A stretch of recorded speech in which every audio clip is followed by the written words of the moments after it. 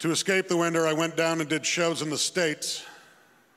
I learned something down in America. There's a difference between Canadian and American foods. And that difference is Canadian food isn't actively trying to murder you.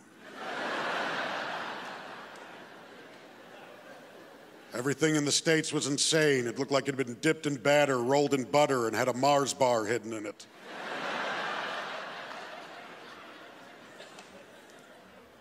The biggest difference between Canadian and American foods can be found in the cereal aisle of the grocery store. I don't know if you've been in an American supermarket recently, but Canada as a nation is getting screwed over on sugar cereals. They've got things we've never seen. When I was down south, I counted four different types of Cap'n Crunch. Four. We have one. We have regular Cap'n Crunch. That's it. You know it and you love it. Red box, blue uniform, white mustache. It's the Cap'n. He does not hold a naval rank of any kind is right there on the box. C A P apostrophe N. Captain. That is a nickname at best. Actually, I guess here he's Capitan Crush.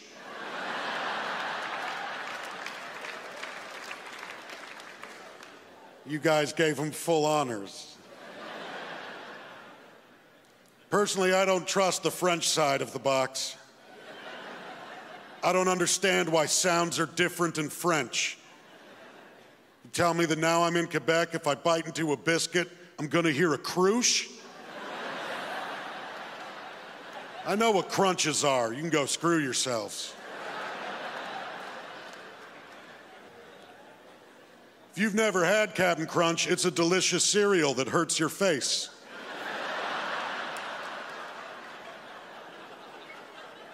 Three main ingredients in that cereal are sugar, crack cocaine, and fiberglass.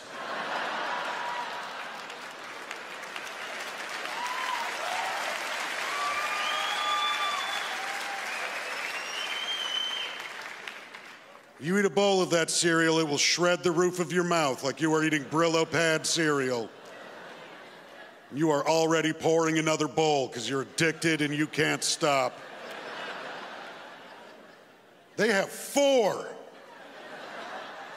Number one is also regular Cap'n Crunch. It would be weird if they didn't have that. Number two is peanut butter Cap'n Crunch. Yeah.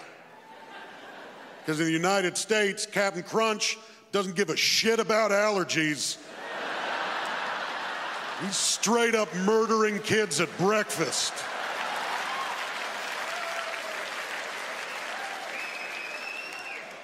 Third type of Cap'n Crunch is Cap'n Crunch with crunch berries. What the hell is a crunch berry? Forgive me, I'm not a botanist. I'm not familiar with the plant that gives off the crunchberry fruit.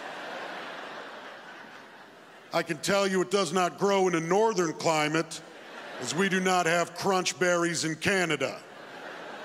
They only grow in the States and not in enough abundance to share with the rest of the world. Which makes the fourth type even more infuriating because the fourth type is oops, just crunch berries. That's the name of the cereal. Cap'n Crunch, oops, just crunch berries. It's a box of crunch berries. There's no Cap'n Crunch in there. That means that their crunchberry surplus is so vast, they're able to fill entire boxes with the stuff and then pass it off as an accident. We didn't even mean to make this.